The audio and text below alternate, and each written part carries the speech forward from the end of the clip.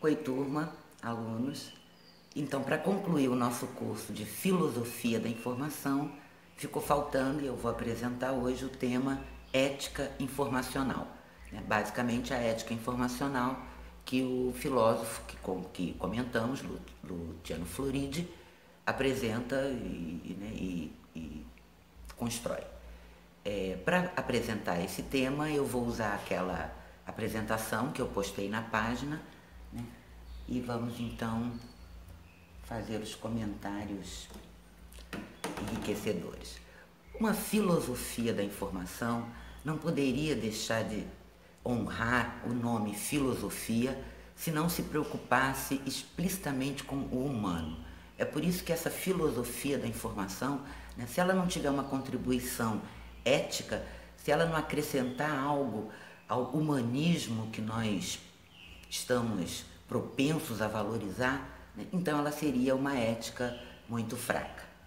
É, a gente percorreu alguns conceitos do Floride e vimos que para ele o que ele quer chamar de ética informacional é uma macroética, né? não é uma ética pontual de, de ah, invadiu minha conta privada, o que, que é, que ele pode saber dos meus dados. É uma, um fundamento ético, né? é uma espécie de é, é, norte ético para que a gente possa balizar nossas ações. Então, para ele, essa ética informacional é uma macroética em extensão aos preceitos filosóficos da ética. Né? O que quer dizer isso? Que é uma ética que vai acrescentar conhecimento, informação, reflexão, valores a essa já estendida, conhecida ética filosófica né? que a gente é, tem debatido aí já por séculos. Mas, concluindo aqui, né, ele quer estender esses preceitos filosóficos da ética, da ética para ajudar, para permitir que a gente saiba lidar melhor com as duas formas contemporâneas de estar no mundo, que é estar no mundo online e estar no mundo offline. E segundo Floride, vocês vão ver que ele vai perceber que se inaugura no mundo offline um novo tipo de convivência, um novo tipo exatamente de estar no mundo, né? novas perspectivas da cidadania, novas perspectivas da, da, da expressão, que é o que a gente vai comentar. Bom, a nossa questão aqui central é em que a ética informacional pode contribuir para além do legado ético da filosofia. Eu dei exemplos aqui que são a regra do ouro. A regra do ouro é um, um também uma máxima popular, né, é, inspirada na ética kantiana e na ética, vou, vou ousar chamar de clássica, que é basicamente a não devemos fazer aos outros aquilo que não queremos que façam com a gente. Né? E valores naturalizados. Por que valores naturalizados estão no, no, no topo da ética contemporânea? Porque uma vez que a gente percebeu, uma vez que a gente discutiu, debateu né, e não foi capaz de perceber um valor imanente, um sentido imanente na humanidade, ou seja, a humanidade está aqui para quê? Né? Qual é a, a, o sentido da vida? Então a gente procura esse sentido da vida historicamente, todas as respostas que já demos, né?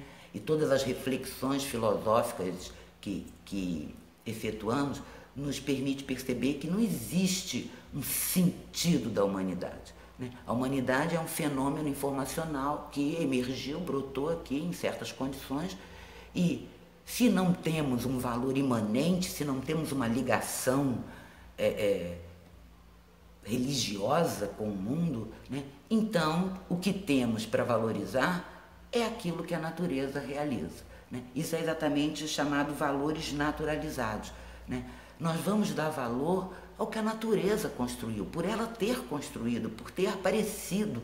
Né? São, por exemplo, vida é um fenômeno raro, consciência com certeza é um fenômeno raro, não encontramos outra. Então, é, é, se esses fenômenos existem, eles, eles parecem val, é, é valer por existirem, né? por serem coisas é, é, que nós consideramos inteligentes, consideramos é, interessantes, que emergiram da própria natureza. Isso é uma naturalização dos valores. Por isso que eu apresentei para vocês uma definição de ética. Né? Ética é, é, é, uma explicação, é uma reflexão sobre o que devemos fazer. Né? E devemos fazer aquilo que o sistema foi feito para fazer. Né? Aquilo que a natureza dotou os sistemas de suas finalidades. Isso seria, então, uma forma naturalizada de entender a ética. Bom, é, na perspectiva da complexidade, porque o florista está dizendo que qualquer sistema que existe, ele tem valor apenas por existir, né?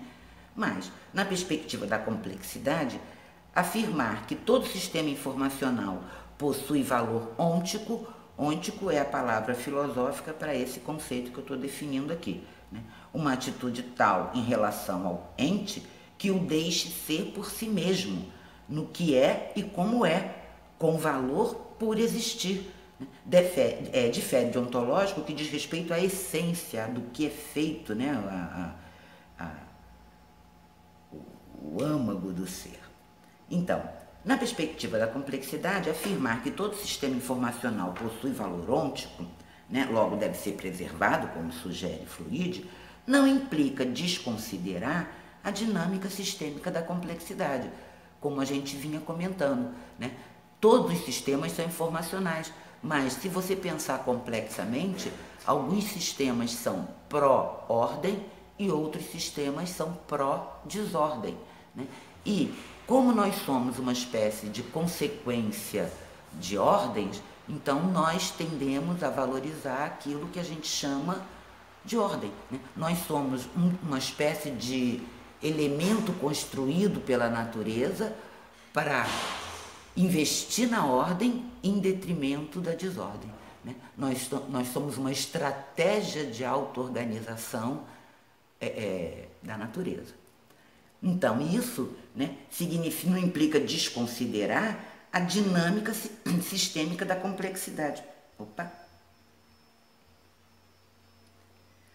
Que é né, entender as coisas como ordem, desordem e auto-organização então, favorecimento de fluxos informacionais que incrementem a ordem, ou ao menos evitem a entropia, né, a dispersão, e o desfavorecimento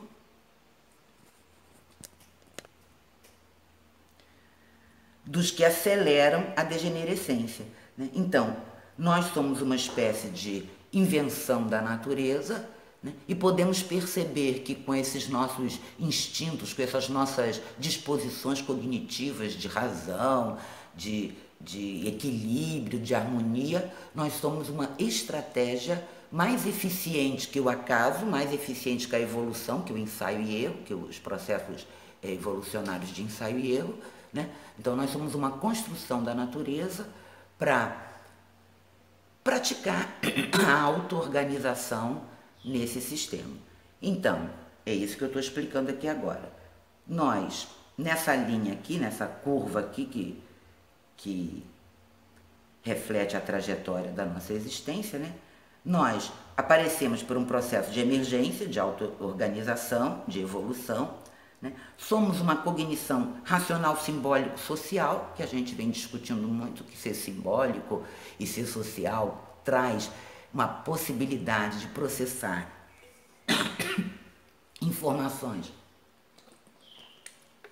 que nenhum outro sistema que a gente tem conhecimento processa. Isso é humano, né? essa é a cognição humana, que constitui nós, que somos agentes da manifestação sistêmica da auto-organização.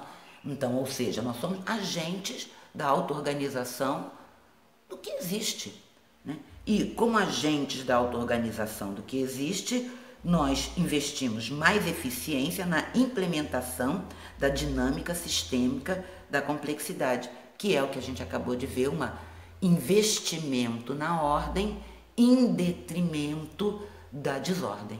Né? Então, nós temos uma ação no mundo mais eficiente que o acaso, nós somos dotados de cognição de, é, é, de é, disposições cognitivas, racionalidade, socialização, né, para ter uma ação no mundo direcionada para investir na ordem e tentar evitar ou postergar a desordem. Então, os fluxos informacionais que devemos inflacionar ou deflacionar ficam sob a influência de valores, ou seja, né, nós temos que tomar decisões a todo momento o que incrementa a ordem sobre o que incrementa a ordem e o que incrementa a desordem, porque não é assim tão óbvio, né? não é já dado. Então, essa distinção sobre que sistemas, que fluxos informacionais vamos é, é, investir para manter e que fluxos informacionais vamos investir para segurar, né, implica dar valor a esses sistemas. E é aí que entra uma ética naturalizada. Né? Ele está dando exemplo aqui, ética, moral, deontologia. Deontologia é exatamente a reflexão filosófica sobre o que é certo e o que é errado moralmente. Né? É, são, são, as, são coisas que importam ao homem porque esse valor, essa de decisão do que vale e o que não vale, é uma decisão que nós temos que tomar cotidianamente. Então, isso implica, como eu estou dizendo, em atribuir valores. Né? A percepção do que tem valor para o sistema vai depender de o nível de abstração que tal cognição está apta a adotar. Né? O que seria talvez a coisa mais importante que a filosofia poderia legar para para o futuro, né? é perceber que existe uma trajetória de nível de abstração e que a percepção do mundo está completamente é, submetida aos níveis de abstração que os humanos são capazes de exer exercer. Né? E vale aqui lembrar que a estratégia da evolução é 8 bilhões de pessoas, 8 bilhões de níveis de abstrações diferentes, fazendo 8 bilhões de leituras do mundo e tentando causar influência a partir desses ingredientes de razão, equilíbrio, harmonia que tendemos a valorizar. Então, é, sabemos que um sistema tem valor.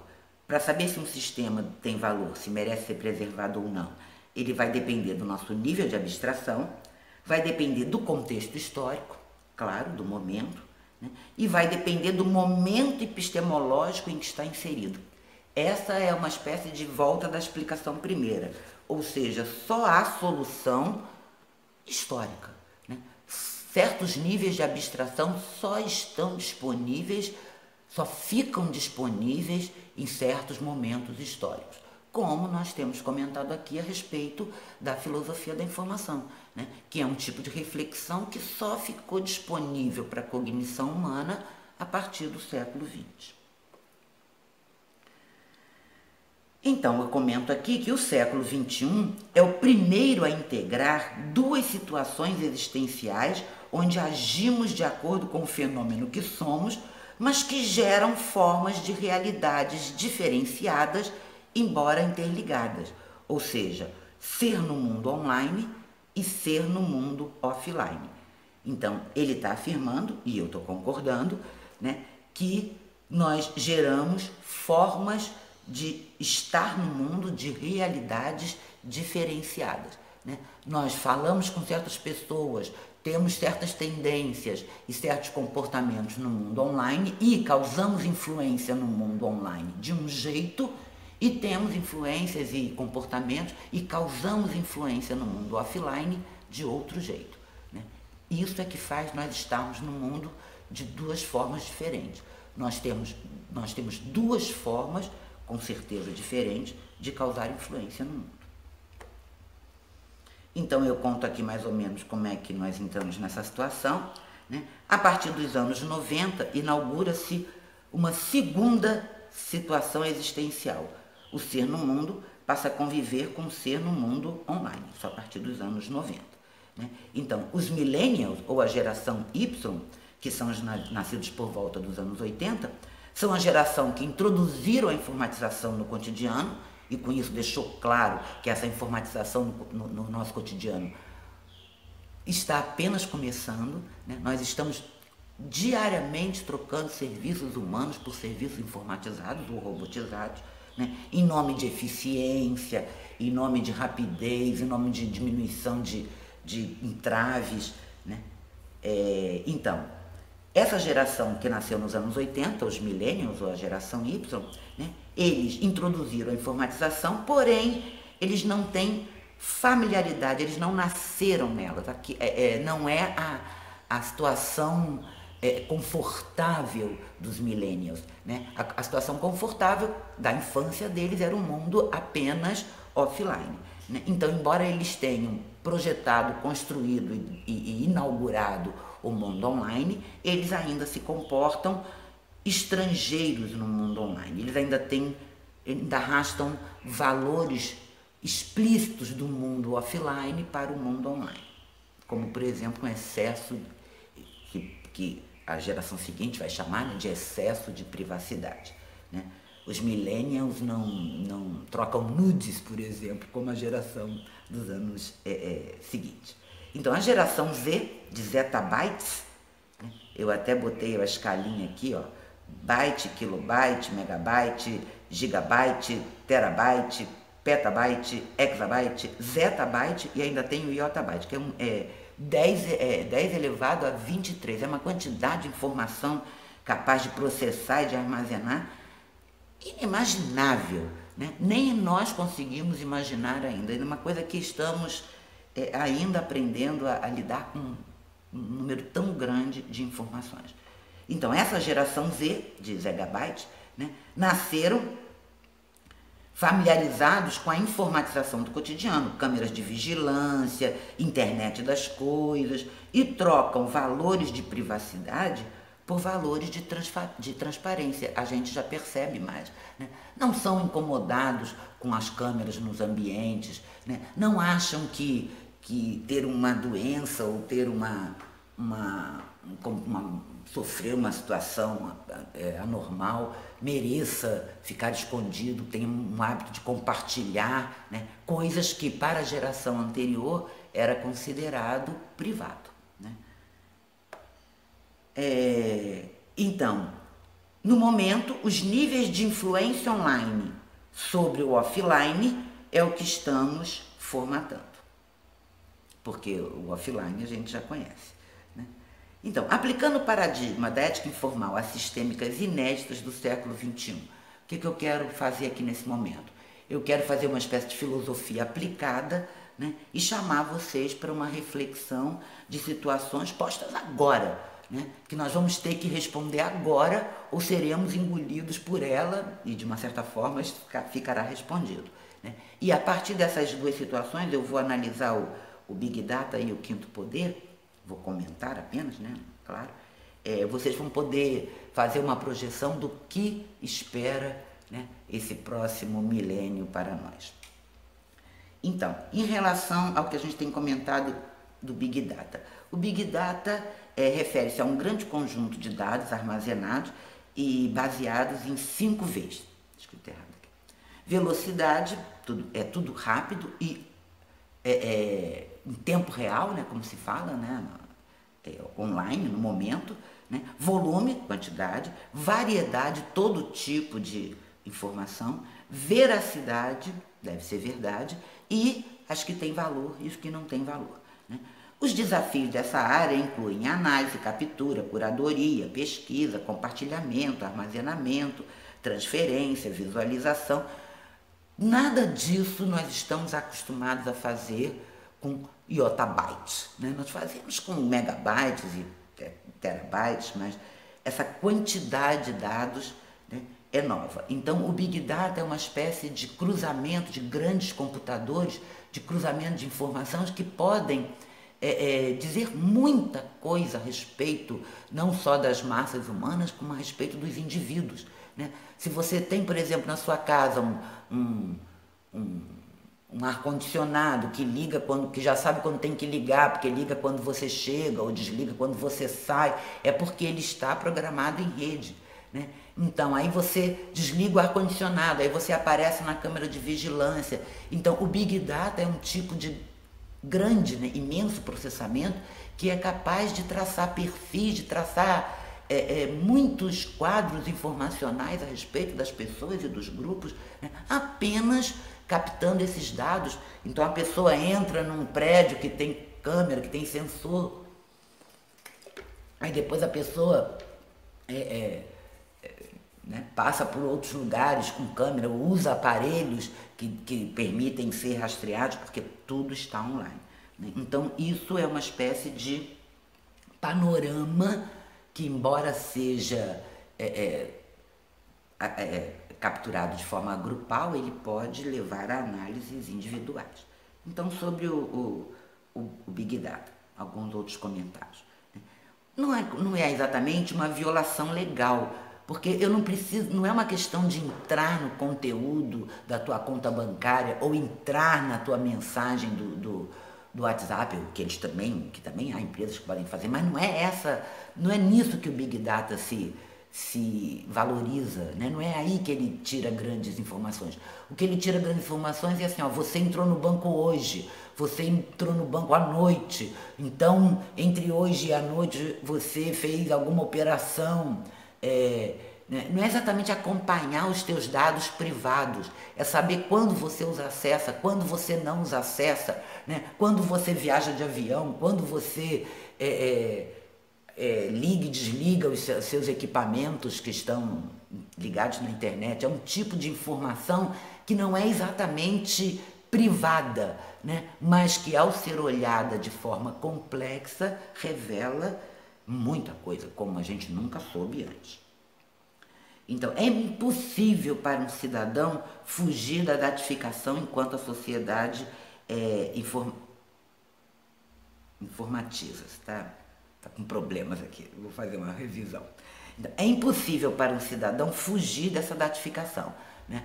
porque a pessoa entra em elevador, a pessoa passa pelas câmeras, a pessoa paga com cartão. Então, são várias coisas que a pessoa faz durante o dia e no seu cotidiano, coisas simples, vai no mercado, né, faz uma compra, acessa uma internet, é, é, entra em banco, entra em site que apenas por essa compilação de dados não tem como a pessoa ficar fora dessa datificação.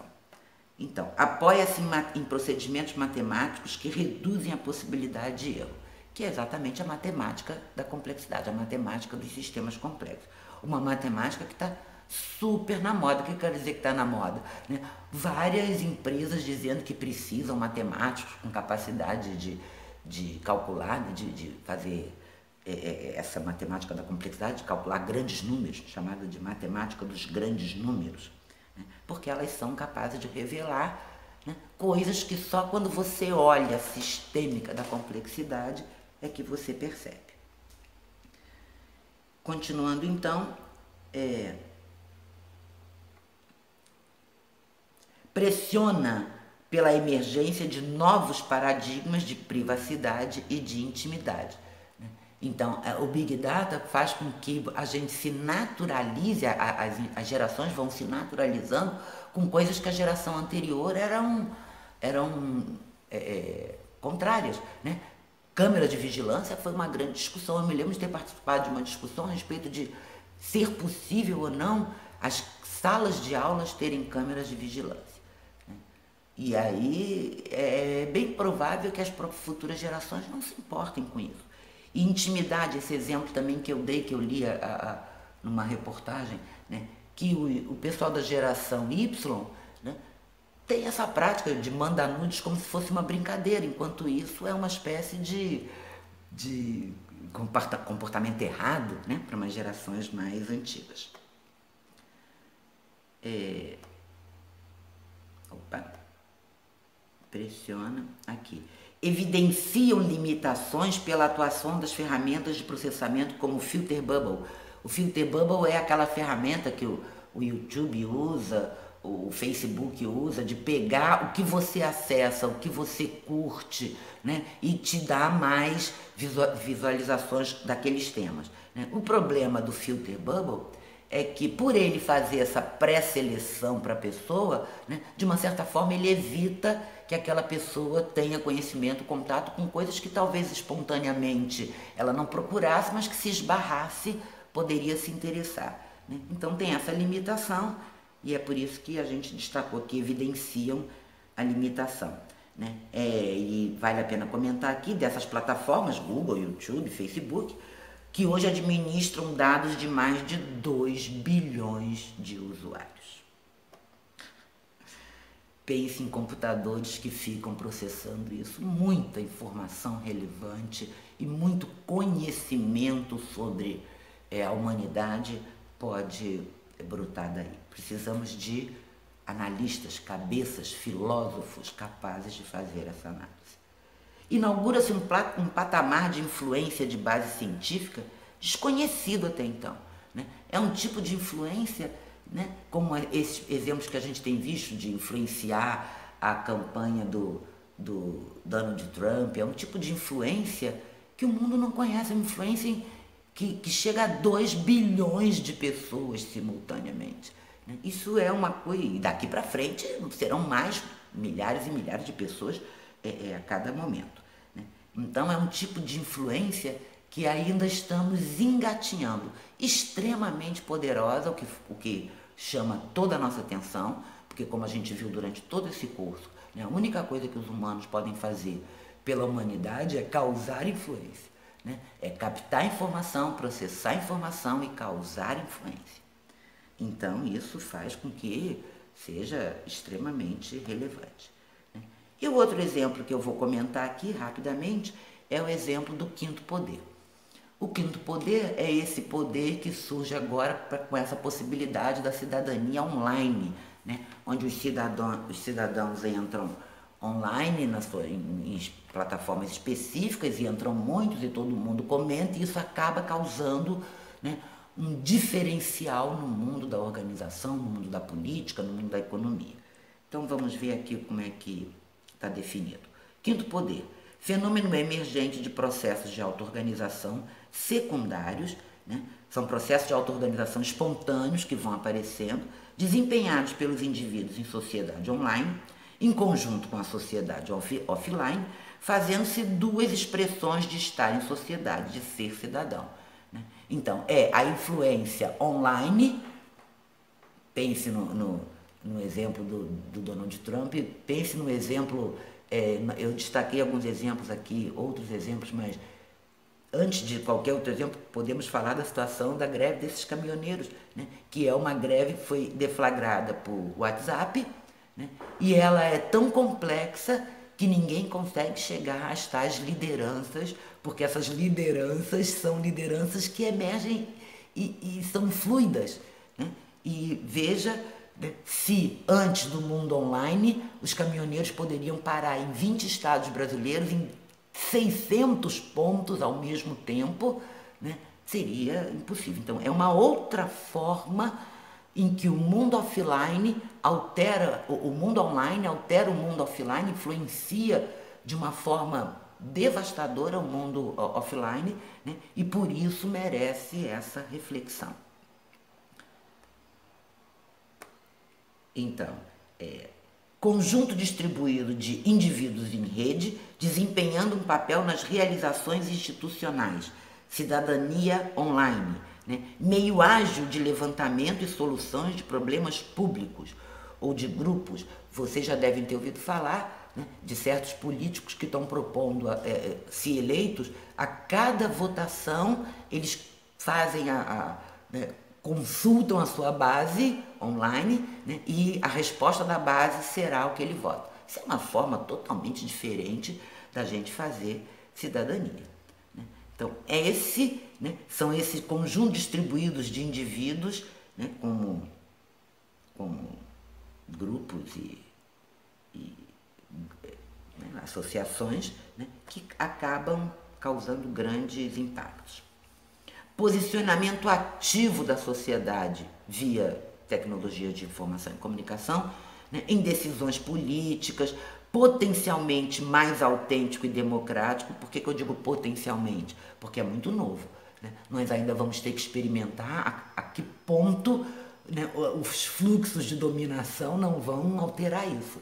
É, assim que nós estabelecemos a democracia, nós achamos que o voto ter, iria basicamente resolver o problema democrático do mundo, até a gente perceber né, o jogo de influências do, do voto, né, até a gente perceber né, o aproveitamento da ignorância, o aproveitamento de, das dificuldades da vida, o papel do Marx, e aí a gente já vê que o voto é uma coisa problemática, embora seja a opinião direta da pessoa, não é bem a opinião direta por causa do jogo de influências. Né? Então, por isso que eu estou colocando potencialmente mais autêntico. Ele tem tudo para ser mais autêntico e democrático. Né? Nós temos uma ferramenta é, em tempo real de poder se posicionar, mas temos que ficar atentos e investir exatamente nos frutos que vão tornar essa prática mais autêntica e democrática e cada vez mais. Né? Então, é, um nível de participação popular até então irrealizável e que demanda a extinção da barreira entre os que têm e os que não têm acesso às TICs. Esse é um problema bem contemporâneo.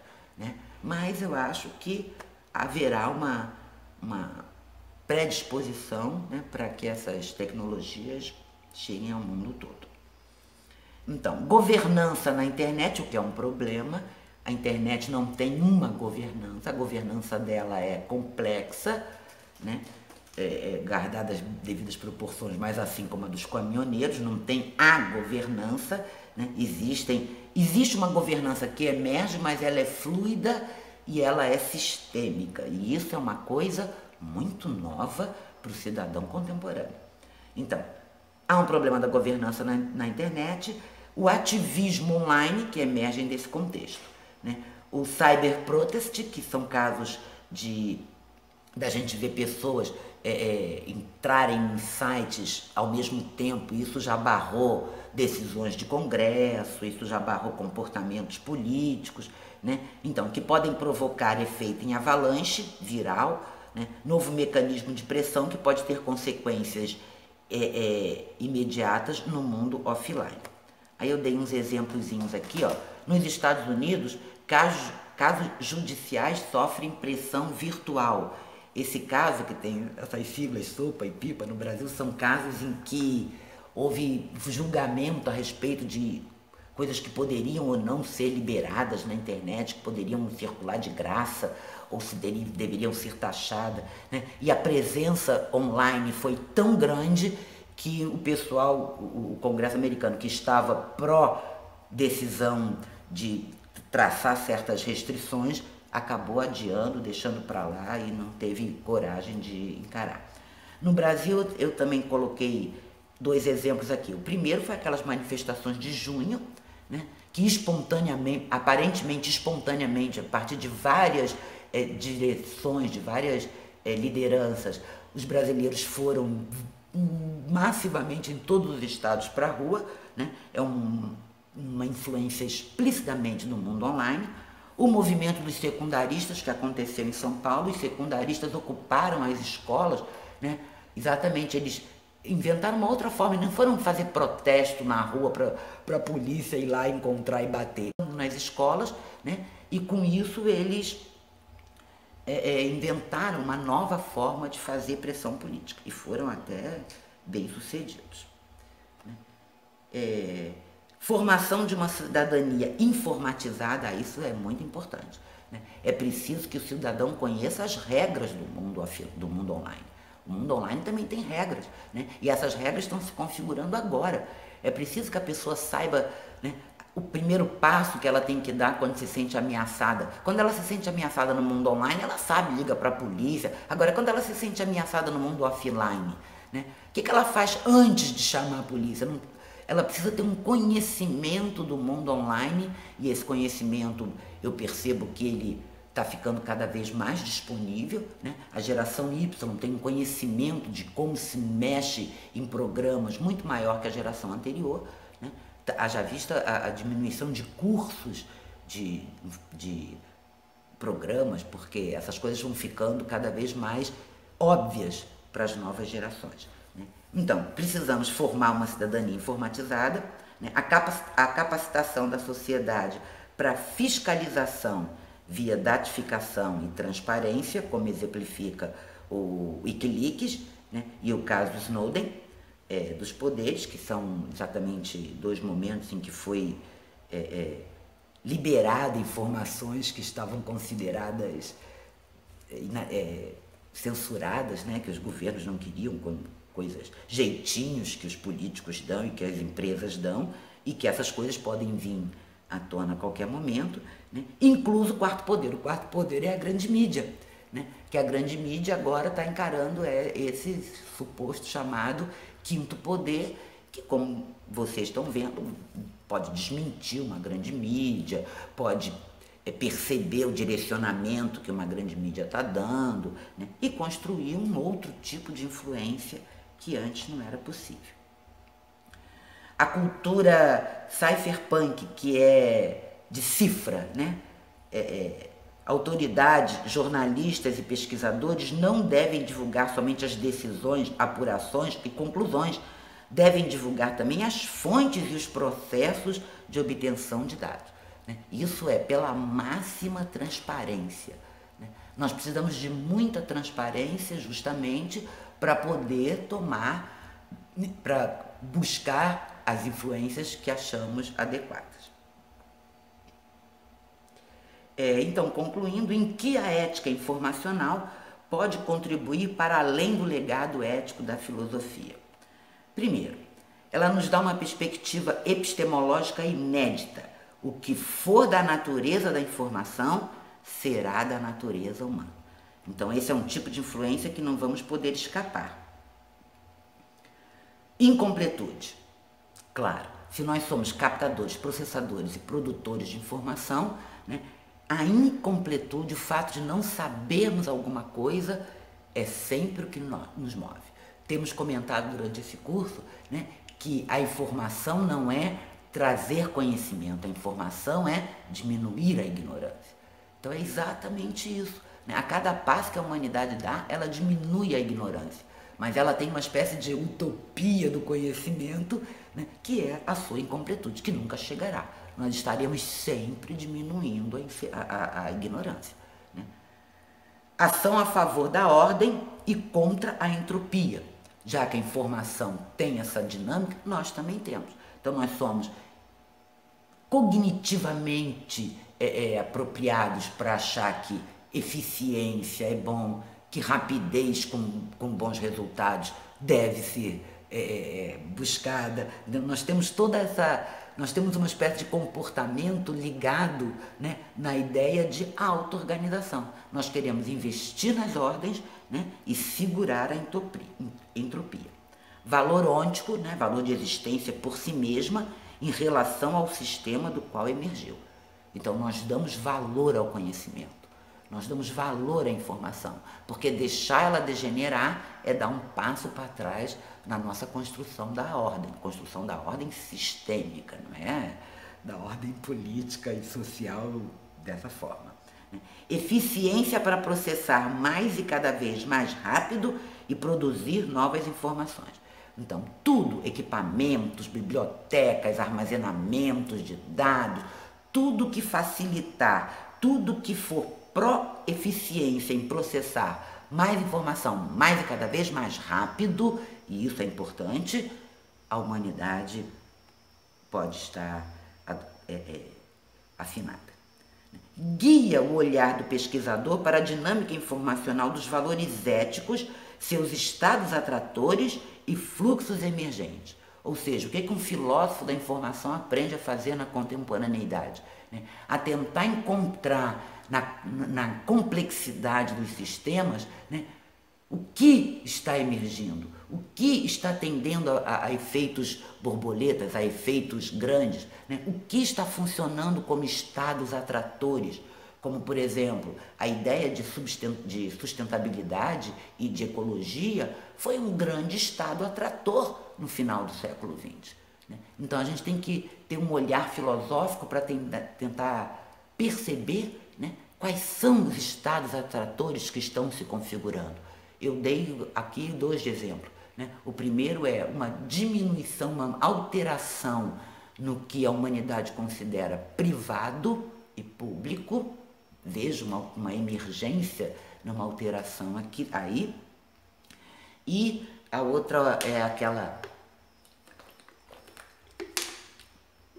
a ideia de, de transparência, de não se sentir é, aviltado né, pelos fluxos de transparência. Então, comentando aqui. A nova delimitação entre privado e público, acabei de falar. Né, conformidade à situação existencial online em nome da eficiência. Ou seja, conformidade quer dizer aprender a lidar com essa situação existencial online? Pressão virtual para que haja regras de governança centralizada, há uma pressão virtual. Por quê? Porque todo sistema precisa de hierarquia. Né? Vimos isso quando a gente viu a complexidade sistêmica. Então, essa hierarquia, ela, ela é difícil de ser preservada no ambiente é, online, justamente pela pela dinâmica intensa das coisas. Né? Então, mas nós temos que exercer uma espécie de pressão para que a hierarquia garanta eficiência. É isso que nós queremos. Né? Patamares inferenciais inimagináveis, ou seja, grupo de dados, né? informações que nós podemos tirar desses bancos de dados inimagináveis. Né? Não temos ideia de quão podemos ir fundo. Cada vez que eu leio é, é, é, novas matérias sobre descobertas de doenças, de efeitos, de causas de, de males sociais ou males ambientais. Né? Nós temos no momento patamares para poder tirar informação, né? tirar inferências, até então não disponíveis para a humanidade. Hoje vivemos com níveis de influência que demandam toda a atenção da sociedade. Por isso merece uma filosofia da ética informacional. Né? Nesse momento de transição, um olhar filosófico que sabe ver o, o, o, o macro, né? o, filósofo que é treinado em, em, em exercer a função a mais ampla possível, com certeza ele pode dar uma contribuição. Né? Construímos suficientemente modelagens afinadas aos interesses universais humanos essa é a proposta da filosofia. Né? Nós estamos agindo no mundo, né? estamos segurando a desordem, promovendo a ordem, né? realmente afinados aos interesses universais humanos, né? nós estamos dando vazão às nossas disposições cognitivas que mais norteiam a tal da regra do ouro, né? que mais valem para nós e para os outros, né? e não outros tais como lucro, ideológicos ou de grupos? Será que nós estamos sabendo fazer isso? Esse é o desafio, alunos, que a gente deixa para vocês. Conto com a geração de vocês para a gente ter um mundo melhor. Eu vou postar no site qual vai ser a nossa tarefinha e até muito breve.